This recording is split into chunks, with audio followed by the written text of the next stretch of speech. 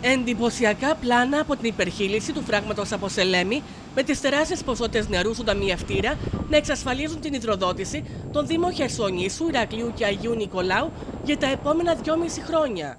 Φέτος υπερχειλίζουμε για τέταρτη συνεχόμενη χρονιά ε, μετά την ολοκλήρωση των έργων από Σελέμη με τη σύραγγα οροπεδίου Λασιθίου. Περιμέναμε την υπερχείληση και φέτος ήταν μια καλή χρονιά ε, για εμάς. Ο ταμιευτήρας από Σελέμη χωράει 25,3 εκατομμύρια κυβικά μέτρα νερού και το τελευταίο διάστημα ε, ετοιμαζόμασταν για την υπερχείληση. Πήγε πολύ καλά φέτος ε, η διαδικασία πλήρωσης του ταμιευτήρα. Μπήκαν μέχρι τώρα πάνω από 17 εκατομμύρια κυβικά. Υπερχειλίζει το φράγμα. Η σύνακα από Σελέμη κατεβάζει περίπου 15.000 κυβικά την ώρα. Από αυτά ε, περίπου 1.500 κυβικά την ώρα ε, διελίζονται και δίνονται στις ε, καταναλώσεις των ε, ΔΕΙΑ στον ίσου Ηρακλείου και Αγίου Νικολάου. Το υπόλοιπο υπερχιλίζει και πηγαίνει στη θάλασσα.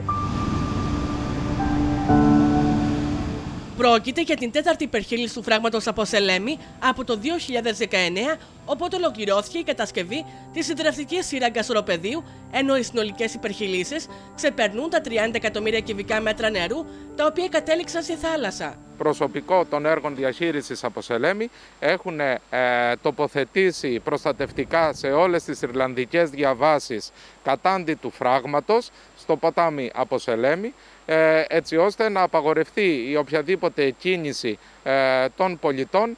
Στο οροπέδιο Λασιθίου ε, υπάρχει αρκετό νερό. Αντίστοιχη ποσότητα συνεχίζει και διοχετεύεται και στο χώνο.